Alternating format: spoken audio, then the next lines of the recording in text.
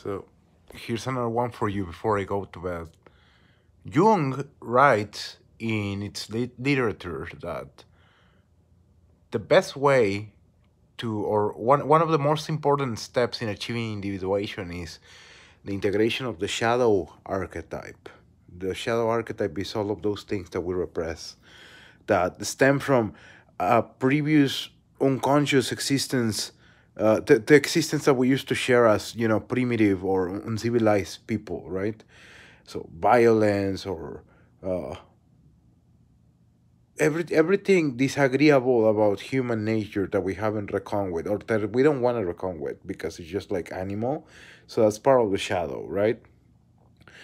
But Jung, interestingly, Jung presents the case that in order to become a fully individuated person, in, or, in order to become to become who you really are, become who you really are. Hmm?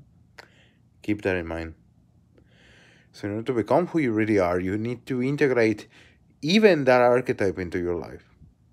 So integrating the shadow entails then garnering or harnessing the energy that those parts of existence provide to actually direct them towards more constructive or productive pursuits, right? Because if you were just possessed by the archetype of the shadow, you would just go amok. You would just become a criminal, right? And that and that's not good.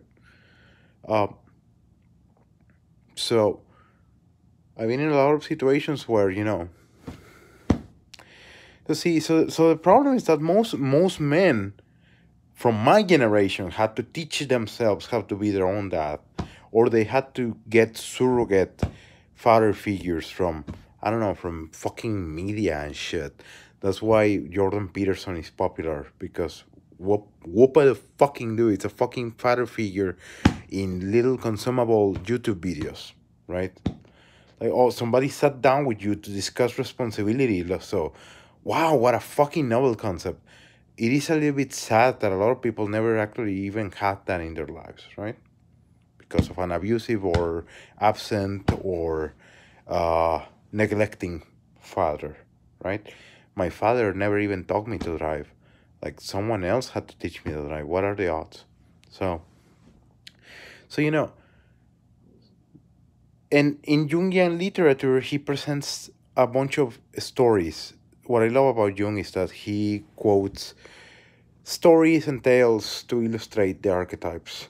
And so he presents a lot of stories where the hero conquers through reversal of their of, of the of the enemies' powers towards them.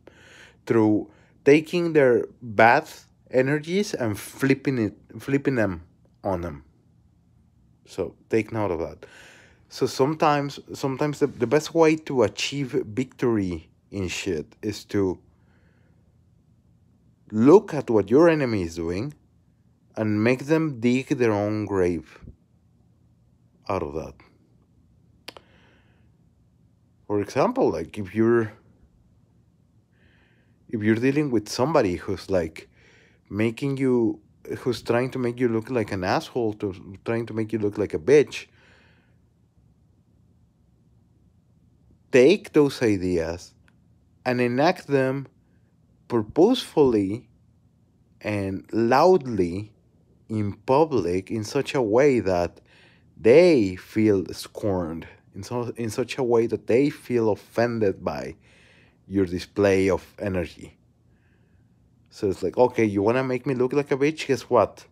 Here's your fucking here's here's what you fucking wanted. You fucking happy now?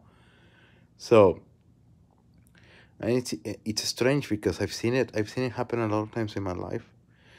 Situations where someone is trying to make my life hell and I power through that shit and I defeat them because a part inside of myself takes over the archetype of the fool right? A part inside of myself takes takes over and I just perform something that just punches them in the balls. But it's what if I told you that it's completely unconscious? It's something that just sort of takes hold of things. And that's what you know so that's why you need to integrate that energy. The best lesson that your father can teach you is how to how to hurt people a gentleman is a person who's got a sword and they can hurt. They will keep it shitted because they're kind. But if a wolf if a coyote is trying to maul your family they will give them hell. They will hurt them. Like uh, this this new male uh, pink apron um, masculinity idea of shit is it's it's perverted because they're trying to annihilate masculinity. They're trying to uh, tell men that yeah, there's nothing wrong if you get into the kitchen and cook shit and stuff, which is true, but as we as every, every good lie has has only a tiny speck of truth, right? So if you're not conscious about that, they take the whole idea of new masculinity and they like twist them on they they flip the whole thing on you and then you're gone as a man. Like uh like I get I get where the you know where the pink apron shit's coming from, but I think that it's kind of like stupid to to try to because it almost become a, becomes a humiliation ritual, right? And the best thing that you can teach to your young to the young man in your life is how to hurt, because you need to be able to hurt because shit is gonna turn bad, and when punch when when punch comes to show, you gotta you sometimes you gotta fuck a bitch up, right? So remember everyone, flip, flip the evil shit onto them, okay? if they're if they're assholes to you, as you make your exit, give them a gift. if they if they think that you're like fucking stupid, if they try to tell you how how shit you are, bake something delicious and feed it to them. The Bible says that you should be positive towards your enemy as they're trying to hurt you because it is just as if you were placing hot coals upon their heads. So, so keep that in mind. Thanks for listening, everyone.